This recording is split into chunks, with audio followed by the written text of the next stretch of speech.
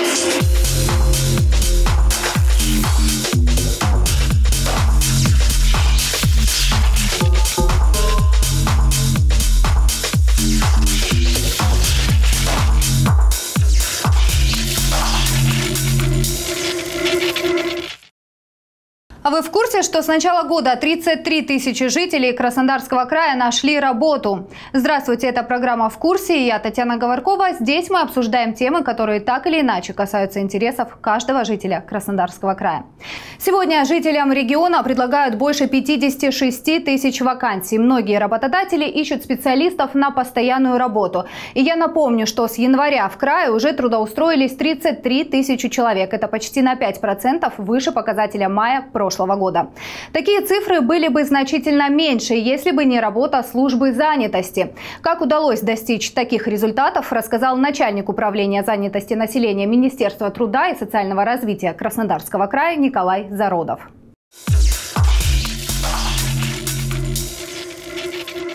Конечно, без вакантных рабочих мест устроиться трудно.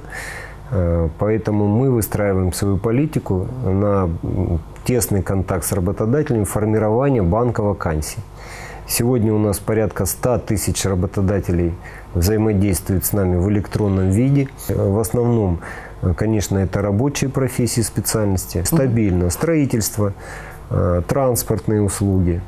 Э, опять же, здравоохранение, образование, врачи и педагоги требуются. 33 тысячи человек нашли работу. Э, практически 70% из них Э, устроились в течение первых 10 дней. А вот последующие, э, те, кто был невозможно трудоустроиться по той причине, что отсутствовали вакантные рабочие места, тогда мы включались, предлагали другие э, возможности трудоустройства. Это и общественные работы, временные работы с выплатой материальной поддержки за счет средств краевого бюджета. Это и возможность профессионального обучения. А вот за 4 месяца практически 2500 людей пошли на профобучение, э, порядка полутора тысяч уже закончили его и трудоустроились. Это возможность открытия собственного дела, это наши ярмарки вакансий.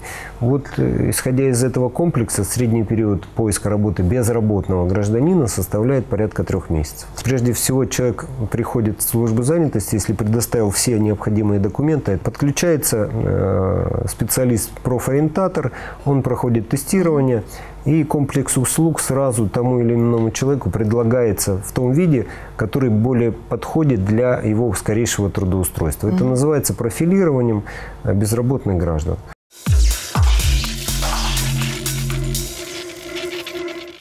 Количества трудоустроенных зависит и сумма поступивших к сну налогов. С начала этого года мобилизовано около 19 миллионов рублей. Однако это несколько ниже запланированных показателей. По данным Управления Федеральной налоговой службы, 40% работодателей выдают зарплату работникам ниже минимального размера оплаты труда.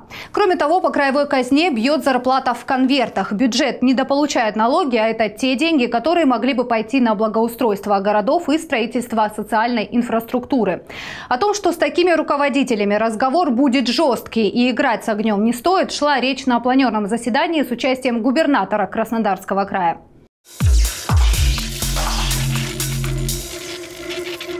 хозяйствующие субъекты, которые на протяжении длительного времени являются поставщиками товаров, работы, услуг э, в рамках обеспечения государственного и муниципального заказа, но также которые выплачивают заработную плату работников ниже МРОД. С ними тоже э, необходимо проводить работу. Если ты поставляешь товары, работы, услуги в рамках муниципального государственного заказа, то, наверное, ты должен быть добросовестным э, налогоплательщикам. Мы сегодня пытаемся вести диалог с теми, кто оплачивает зарплату ниже МРОД.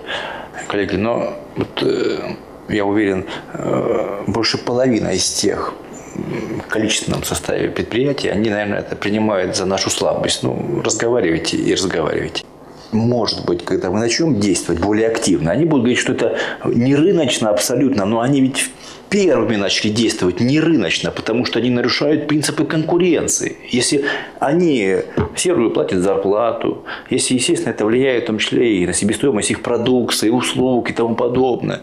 Мы просто всех приводим к одному знаменателю. И для всех даем одинаковые возможности. И э, конкурентную среду мы тоже делаем для всех э, одинаковую. Мы должны просто, наверное, составить черный список таких предприятий э, и разослать всем министерствам, департаментам, банкам. И все, кто в этот список попал, полностью 100% лишаются любой господдержки в любой отрасли экономики.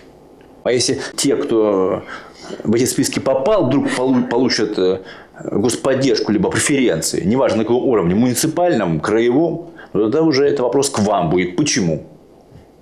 Почему? Особые отношения, что ли? А знаете, может, поэтому э, они и не платят что-то, либо платят черную, только потому, что особые отношения с кем-то. Слишком хорошая крыша, знаете, как в народе говорят. Слишком хорошая крыша. Она тоже имеет способность протечь. Поэтому давайте не будем играть с огнем, не будем играть с огнем. И максимально жестко подойдем к тем, кто платит в серую, тихий, спокойный, но результативный алгоритм.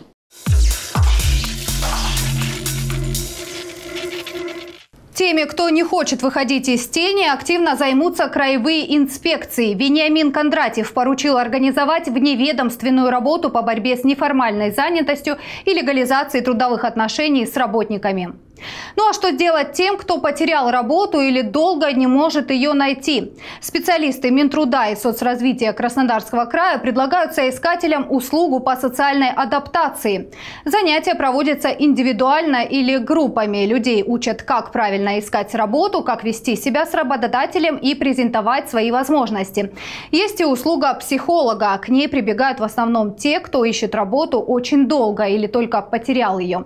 В качестве вариантов служба службах занятости предлагают самозанятость или переобучение. Нужные направления подбирают путем тестирования. Эти услуги бесплатны. Подробнее о работе Сочинского центра занятости рассказала его руководитель Анна Примакова.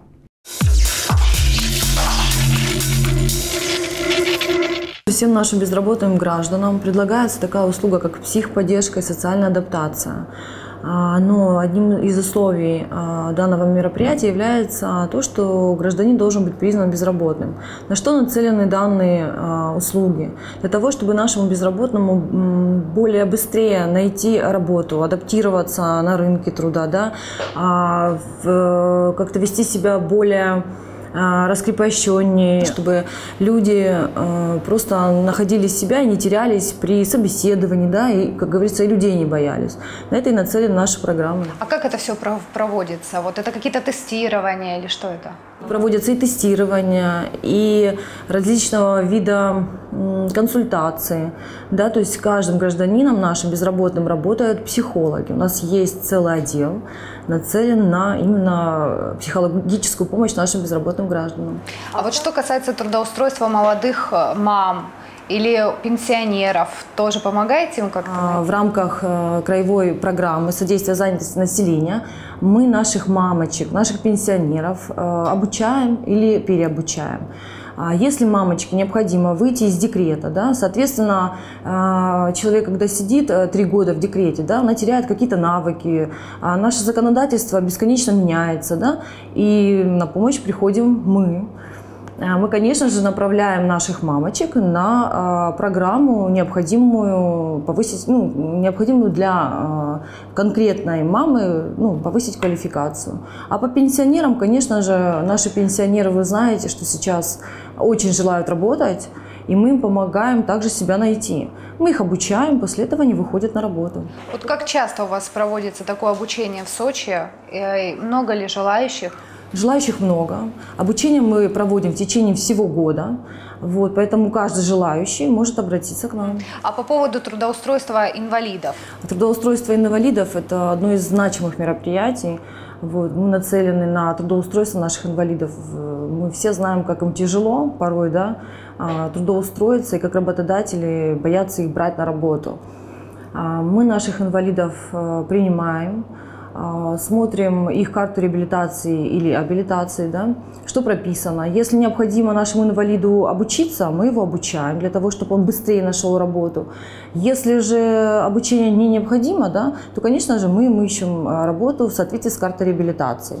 Помимо этого, мы проводим групповые консультации с нашими инвалидами, приглашаем различные соцсферы, да, Это и социальная политика, и э, медико-социальная экспертиза, и пенсионный фонд, и трудовая инспекция. То есть мы э, ну, ежемесячно проводим такие вот групповые консультации, оказываем.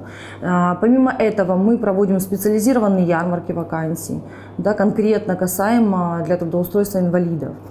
Также не стоит забывать, что есть постановление главы города по квотированию рабочих мест. То есть каждый работодатель, а, ну, в этом постановлении каждому работодателю определяется квота. Да? На сегодняшний день у нас 870 вакансий для инвалидов. Поэтому нашим инвалидам мы помогаем. А в целом сейчас по городу какое количество вакансий? К нам на сегодняшний день обратилось а, порядка 1700 человек, из них 700 состоят на учете в качестве безработных. Ну, приблизительно где-то 0,3% напряженность у нас. Вот вакансий у нас на одного человека приходится порядка 4 вакансии. Это в основном какие отрасли? А, различные отрасли, но, конечно же, не стоит забывать, что в нашем городе в основном, да, а, реализуется такая отрасль, как э, санаторная, да, вот, и медицинский персонал очень востребованный, администраторы востребованы.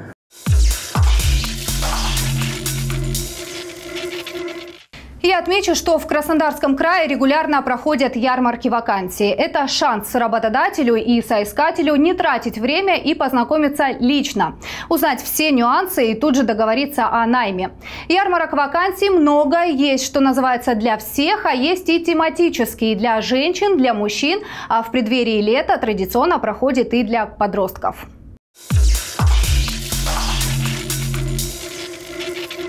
По традиции каждый год мы проводим а, а, в рамках акции э, «Краевой ты нужен Кубани» ярмарки вакансий по нашей территории, по городу Сочи в, различных э, районах. Это и в Адлерском, и в Лазаревском, и у нас в центральном районе.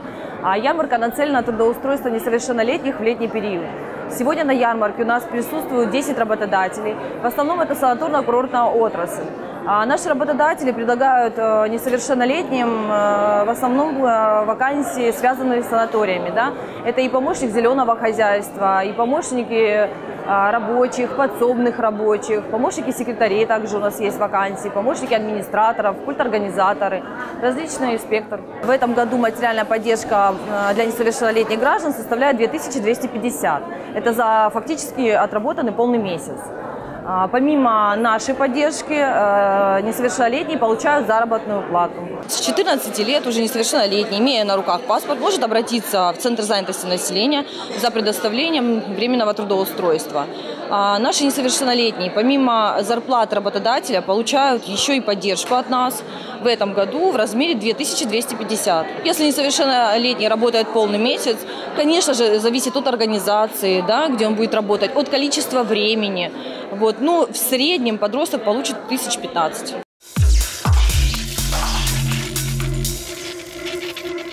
Сегодня Центр занятости заключил с работодателями 124 договора. Предприятия готовы предоставить более тысячи рабочих мест для несовершеннолетних. В прошлом году в Сочи летом были трудоустроены более 1800 подростков. И вот что они сами говорят о работе.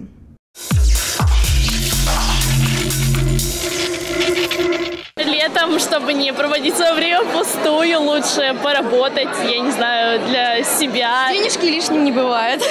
Собираемся летом работать. Ну, ну чтобы получать деньги, соответственно. Да. Да. Нужны командные деньги. Да. Какой-то стаж определять. Ну, чтобы какой-то опыт получить. Заработать э, хочется, чтобы у родителей меньше просить. Ну и как-то опыта набраться.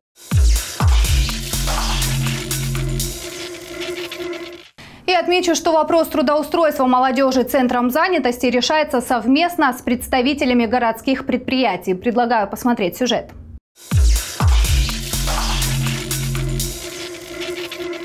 Возможность заработать в Сочи есть всегда. Подтвердили это и работодатели. Для этого необходимо быть эффективным работником. Но и этому ребят готовы обучить в городских организациях. Об условиях работы и вакансиях рассказали представители местных отелей, банков. Трудоустроить молодых специалистов готова и служба судебных приставов, и четвертая горбольница. Свои предложения озвучил на встрече и водоканал. Это на данный момент очень актуально, так как э, многие студенты не знают, куда устроиться.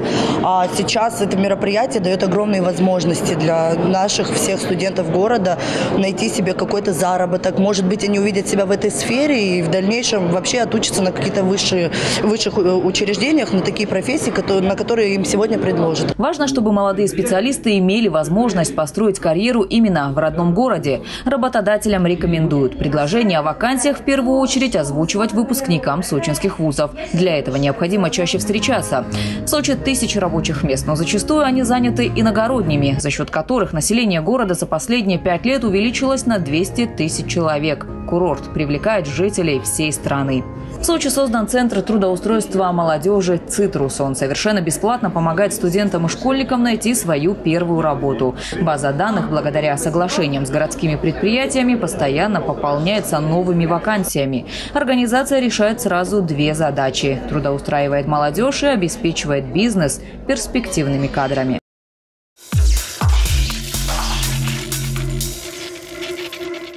Отмечу, что в крае уровень регистрируемой безработицы в этом году составил 0,3%. То есть практически каждый желающий может найти работу. Для этого как раз и разработана краевая целевая программа содействия занятости населения. Ну и не только в вопросе трудоустройства Краснодарский край в числе лидеров. В этом году Кубань в четвертый раз признана лучшим регионом страны в области охраны труда. В шести номинациях конкурса «Успех и безопасность 2018» 2018 от Краснодарского края участвовали более 6 тысяч предприятий, что на одну тысячу больше, чем в прошлом году. Губернатор Краснодарского края Вениамин Кондратьев прокомментировал эти итоги, выступая на Всероссийской неделе охраны труда. По словам главы региона, такие показатели достигнуты благодаря эффективному взаимодействию работодателей с профсоюзами, а также надзорных органов и муниципалитетов. Процитирую. Задача властей не просто создавать новые рабочие места, но и делать труд людей прежде всего безопасным. Губернатор также отметил, что на Кубани за пять лет число травм на производстве уменьшилось почти на 21%. Случаев травматизма со смертельным исходом стало на 40% меньше. Увеличилось количество предприятий, на которых вопросам охраны труда уделяют повышенное внимание. Ну это все, о чем мы успели рассказать вам сегодня. С вами была Татьяна Говоркова. Смотрите программу «В курсе» и будьте в курсе всего, чем живет Краснодарский край.